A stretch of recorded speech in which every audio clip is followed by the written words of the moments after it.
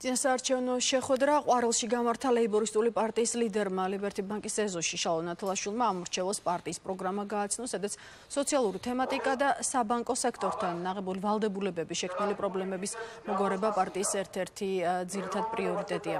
თავარმა ლეიბორისტმა ყვარლელებს ყოფილი პრემიერის ბიძინა ივანიშვილის მიერ გაცემული შეუსრულებელი დაპირებებით შეახსენა და მათ 8 ოქტომბერს სწორი არჩევანის გაკეთებისკენ მოუწოდა.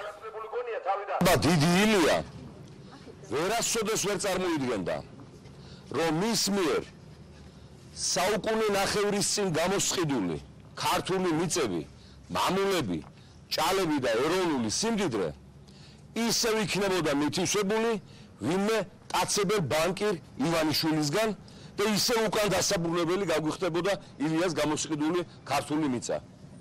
და ამ პიროვნებას თავი გონია ილიელი და ილიას გზით მოსიარულე. მე კი აი ყვარელიდან ვეუბნები, რომ შენი ადგილი პოლიტიკურ მოუსავლეთშია და ხალხი ამ განაჩენს გამოგიტანა. სამი მთავრობიდან ყველა ცადოთ და გინდათ რომ ცადოთ ხალხის დაეხმარება და ხალხისთვის იყოს ეგრე კეთილი დღეობა და დაგვეხმაროს ყველა გლეხს, ყველა ჩვენ მიწასთან მუშაობ და რა ვიცი, იმედი გვაქვს ამ ადამიანს.